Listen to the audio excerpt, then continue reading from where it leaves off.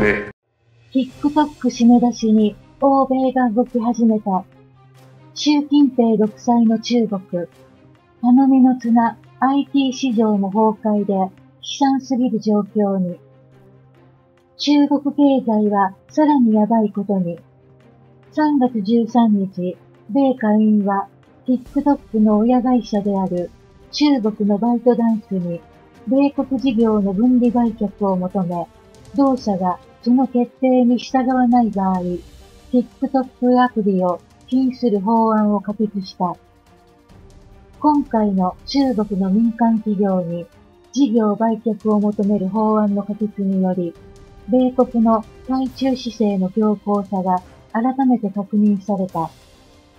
米国議会では中国のアプリの経済安全保障体制への脅威が高まった。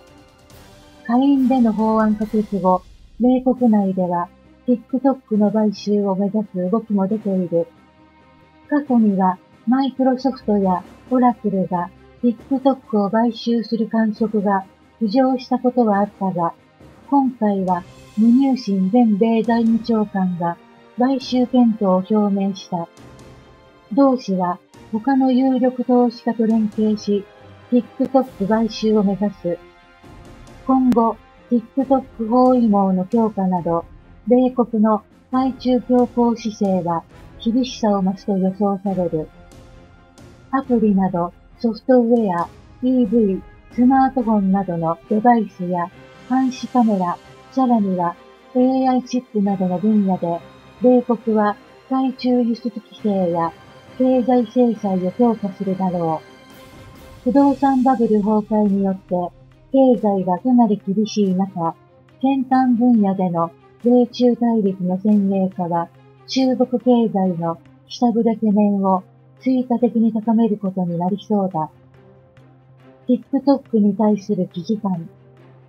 今回、米国の下院は、TikTok の分離売却、禁止を求める法案を賛成352、反対65で可決した。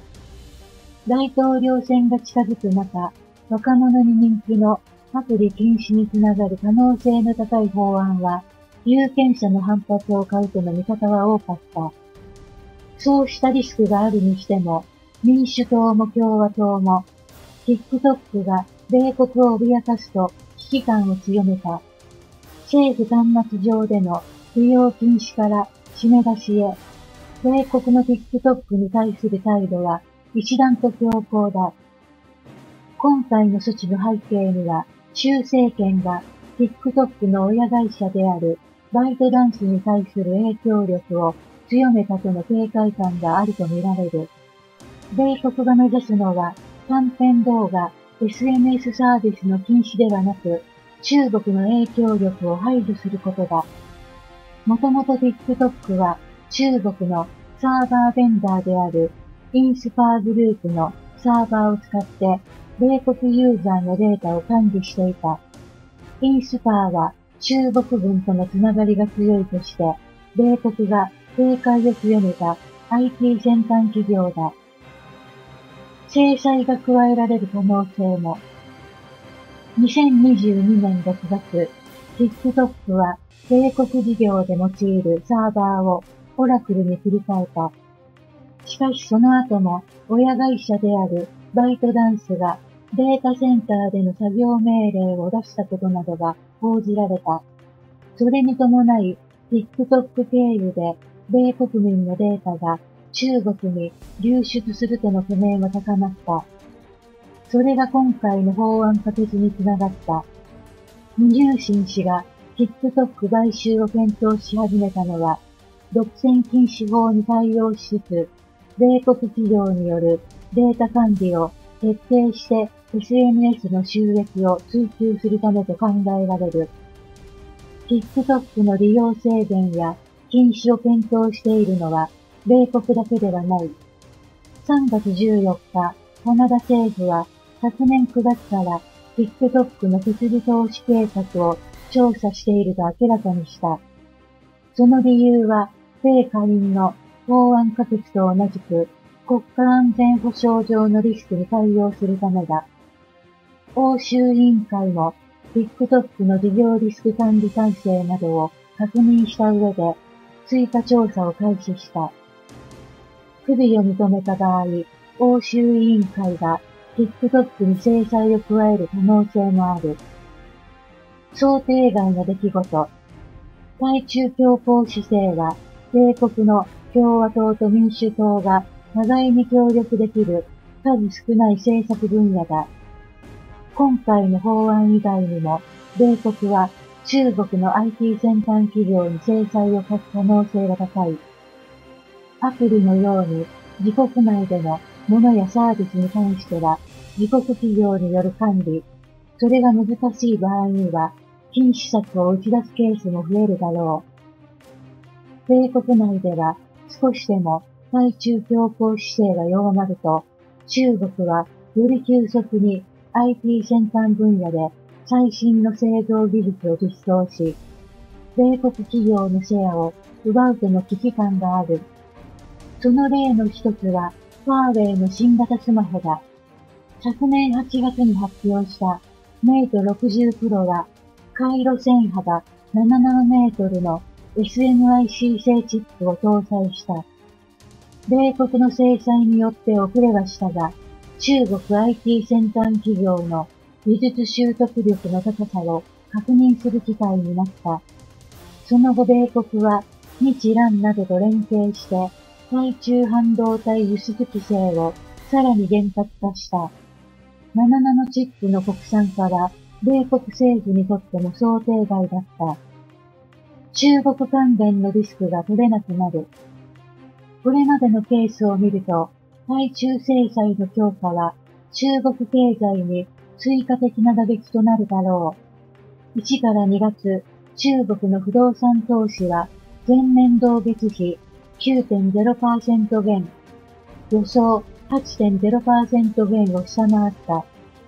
不動産バブル崩壊による景気低迷の脱却に大方の予想以上の時間がかかるかもしれない。その状況下で米国がバイトダンスなどへの制裁を強化すれば、主要投資家は中国関連のリスクを取ることがさらに難しくなる。一方、政治優先の修正権は今後も IT 先端企業への締め付けを強め、社会と経済への統制を引き締めるだろう。米中双方の要因から中国の IT 先端分野での企業の成長は抑制されそうだ。それは中国の雇用、所得環境を下押しする。不動産バブル崩壊に先端分野での米中対立の前衛化リスクも加わり、中国経済のバランスシート調整やデフレ圧力は高まる恐れがある。中国インフラ課題投資の実態、2000兆円、巨額債務の影響は、中国ではインフラの課題投資が相次ぎ、地方の政府は2000兆円とも言われる巨額の債務を抱えています。その実態と今後の行方、日本への影響を探りました。2000兆円巨額債務の影響は、高速道路の真ん中を迷いなく歩く人々。2017年、中国貴州省に作られた道路。去年開通するまで使われていませんでした。住民、9、なかなか開通しなかったのは政府にお金がないから？その可能性がある。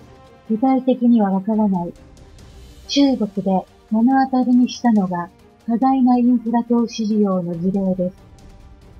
雲南省昆明市郊外に作られた駅。入り口は高い塀で塞がれていて、中に入ることができません。地元メディアによると、駅を建て終えた後、採算が取れないことが分かったため、使われていないと言います。住民、人があまり多くないからだろう。欲しいと思ってもしょうがない。走っても電気の無駄だよ。別の駅でも、こちらも完成後、一度も使われることがなく、市民の憩いの場になっていました。こうした駅は中国全土で20以上に上っていると見られます。駅に合わせて建てられたマンションも住民、とても少ない。部屋は2000室があるけれど、入居率は1%以下だと思う。本当にかなり無駄遣いだと思う。過剰な投資を進めてきたのが、地方政府が出資した投資会社、融資兵隊です。しかし、中国で不動産事業が低迷する中、巨額の負債を抱え、地方政府の重荷になっています。その金額について、専門家の試算は、東京財団政策研究所、下流主席研究員、100兆元で2000兆円ですから、天文学的数字、資金不足で開発が滞るケースも起きています。道路標識は矢印だけ書いてあり、行き先が何も書いていない状態です。本来ならこんな標識ができるはずでした。ところが途中で工事がストップ。行き先は今も書かれていません。さらにこちらの巨大な建物はかつて長距離バスのターミナルでしたが、今は宅配便の会社などが建物を使っています。バスターミナルは閉鎖され自体に、駐車場は自動車の教習所に変わりました。不景気の煽りを受けるのは国民です。賃金の未払いも発生し、一部では抗議デモが起きています。下流主席研究員。怖いのがこの点が面に広がっていった場合、ただじゃ済まないので、そうなった時に大変なことになる。景気の回復を中国政府に期待しようにも、簡単にはいかない事情もあると言います。下流主席研究員、習近平政権の中には、経済の専門家が一人もいないのが、まず難しいところで、借金をたくさん抱えすぎていて、どっちから手をつければいいのかわからなくなっている。おそらく、右往左往して、最終的に弱者を犠牲にしていく。影響は中国国内だけにとどまりません。海外企業の脱中国が進むことで、日本には意外なメリットがあると言います。下流主席研究員。日本に一部、特にハイテクの半導体などが来て、調子が良くなっている。日本だけでなく、インド、ベトナム、インドネシア、タイなど、企業の業績が急に改善しているわけです。ただ、中国のマーケットに依存する日本の企業は、業績の悪化は避けられず、対策が必要になると言います。一方で、中国の李強首相は24日、不動産の不況について困難や問題は想像より悪くないとして、中国経済の先行きに自信があると強調しています。